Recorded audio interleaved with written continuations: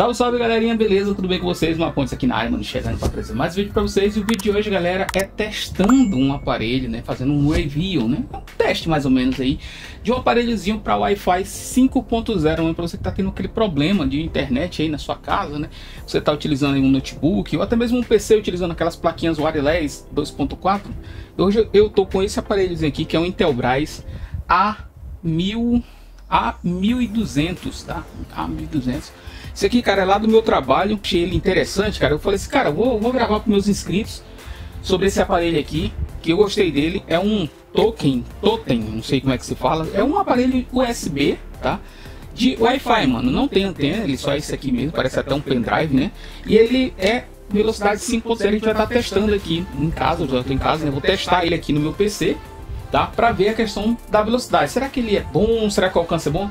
Já de antemão, galera, eu quero falar para vocês que eu estou uma distância mais ou menos aqui de uns quase 10 metros até o meu roteador.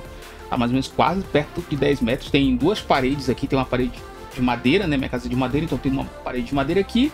Tem outra ali, tem umas duas ou três paredes de madeira até chegar no roteador, onde ele tá, tá? Então o sinal dele. Aqui o meu PC funciona no cabo, Tá? Vou estar tá mostrando na velocidade que está chegando a internet no meu cabo. Meu plano aqui é de 400 MB, tá? Então, mas às vezes nunca bate 400 MB. Mas a gente vai ver se com isso aqui vai ficar pelo menos perto disso, né? Porque no cabo a gente sabe que é muito bom, né? Então a gente vai estar tá testando esse Intelbras A1200. Bora para os testes.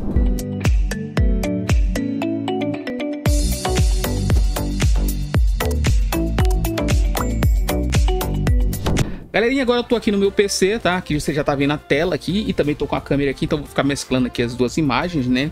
Direto aqui, né? Aqui, aqui, aqui, aqui. Bora lá, deixa eu passar, vamos lá. Então, o Intelbras, ele é bem simples, cara. Não tenho a caixa dele, tá? Mas eu vou estar tá mostrando aqui pra vocês, ó. Ele vem assim, né? Como eu falei, ó. Somente ele, tá? Aqui atrás tem algumas informações dele. Não sei se o celular vai pegar legal aí, tá? Mas é isso aqui.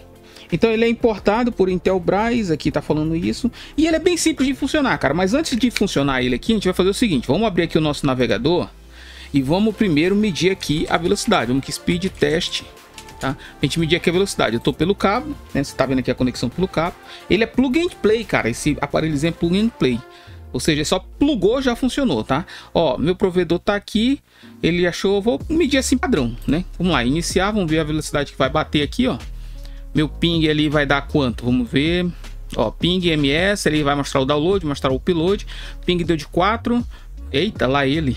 Olha lá, 412, 415. Vamos ver quanto é que vai dar pelo cabo a, a o aferimento da velocidade. Aferimento, o aferimento da velocidade, beleza?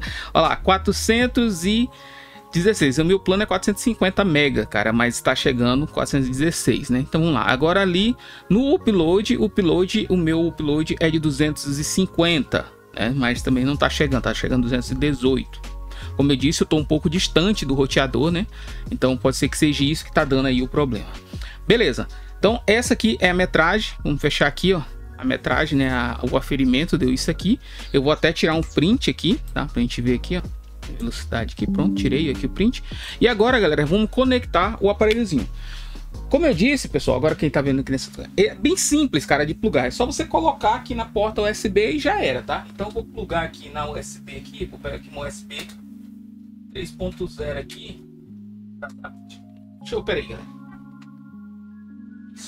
Vou colocar aqui numa 3.0 também. Tá? Já pluguei. Aqui, ó, no PC, galera, vocês vão estar tá vendo aqui, ó, que tá conectado, né? Então vou tirar aqui o cabo da rede. Ó, pode ver que ali já saiu, ó. Tá aqui o cabo na minha mão, ó. Já estou sem o cabo da internet ali.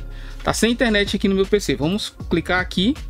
Vamos aqui, já apareceu aqui ó, no cantinho aqui disponível, né? Então vamos clicar aqui e já apareceu aqui. Eu vou conectar na minha rede 5G primeiro, tá? Pra gente ver aqui, ó. Vamos pegar logo o máximo da velocidade. Ele vai pedir para me digitar minha senha aqui, provavelmente. Eu não lembro se a senha tá salva. Mas eu acho que vai dar muita interferência a conector, porque ele tá aqui no canto, tem o 5G, galera, o 5G, a vantagem dele é que ele tem velocidade mais rápida, mas a desvantagem é que qualquer coisa que tiver na frente da, da conexão interfere nela, mano, então isso é, é ruim, né? Ó, mas ele deu um sinal bom, tá? Deu aqui, ó, sinal bom até, deu conectado seguro aqui, ruim que não dá de ver aqui o nível de sinal, né? Deixa eu ver se dá de ver Não dá de ver aqui o nível de sinal, mano. Não, dá, não tem como eu ver o nível de sinal. Mas muito bem, tinha dado essa velocidade. Vou abrir uma outra aba aqui. E vamos medir agora aqui, ó, speed test. No Google de novo. E vamos abrir aqui um outro speed test para ver.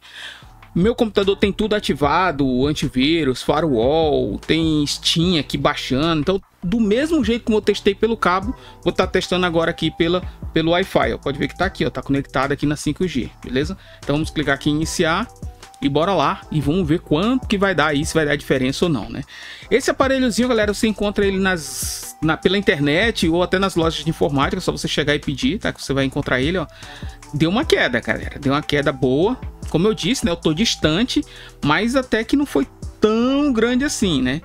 Tá na, na conexão 5.0 ali atrás do PC, na conexão 3.0, USB 3.0, caiu, digamos, pela metade, né? Já o upload não deu diferença, o upload deu a diferença mínima, só deu diferença no download. Então pode ser que minha internet tenha oscilado também, né, galera? Da hora que eu testei até agora, pode ser que a internet tenha dado uma oscilada, por isso que deu essa diferença. Mas esse aparelho, galera, ele é mais assim, queimou o Wi-Fi do seu notebook, você pode usar esse aparelho. Pelo que eu vi, esse aparelhozinho ele também pode ser usado também é, em DVR, né? Se você usa câmera de segurança, pode usar ele também para conectar. Galera, agora eu vou fazer o seguinte, tá? Na mesma conexão, na mesma porta ali, eu vou testar agora na 2.4, né? A gente viu aqui, ó, a tendência da 2.4 é ele ficar com a conexão mais lenta, tá? Mas em compensação, vai ficar mais estável, tá? Então vamos entrar aqui na 2.4 Deixa eu conectar aqui, ó. Tava na 5, né? E agora vamos na 2.4, vamos ver. O máximo que deu ali foi 200 de download, né? E 200 e pouquinho de upload, certo? Então vamos ver agora. Já estamos na 2.4. Deixa eu ativar aqui meu firewall. E vamos iniciar aqui. Não, vamos entrar de novo aqui no site. Pera aí. Pegar do começo aqui. E vamos iniciar aqui, ó. Apareceu que conectei numa... Um dispositivo conectou na minha rede, né? E vamos lá. Vamos iniciar aqui. Tá conectando. O ping deu 6, aumentou a quantidade de ping. E o upload, como eu disse, ó, na, na, na, na 2.4 ela oscila menos, mas só que a conexão é bem menor. Tá? Você pode ver que tá dando 20, mano. Deu 10% só da minha velocidade que eu tenho utilizando a 5.0. Então isso fica até também como uma, uma referência para vocês, galera, que querem colocar é, Wi-Fi na casa de vocês. Sempre quando vocês forem comprar um roteador ou um, um, um próprio aparelhozinho desse aí, procurem sempre 5.0, tá? A conexão 5.0 ela é bem melhor, bem mais rápida, só que ela limita a distância. A 2.4 deve ser bem mais longe o alcance, mas a 5.0 ela é bem melhor e bem mais veloz. Ó. Olha a diferença, mano. Entendeu? Então, galera, deixa eu voltar para cá pro meu cabo aqui. Deixa eu conectar aqui o cabo novamente e vamos falar aqui a respeito do bicho. Né? Então esse aqui, galera, é o Dong, o Dongle, né? Intelbras Action A1200, vocês viram aí no teste. Ele tem um botãozinho aqui em cima para você estar tá, é, conectando sem precisar digitar a senha, tá? É, eu, e como eu disse, ele é bom. Se você estragou só o Wi-Fi do seu notebook, você pode usar. Você pode usar ele na sua TV, tá? Eu já vi alguns vídeos falando sobre TV, que ele funciona também.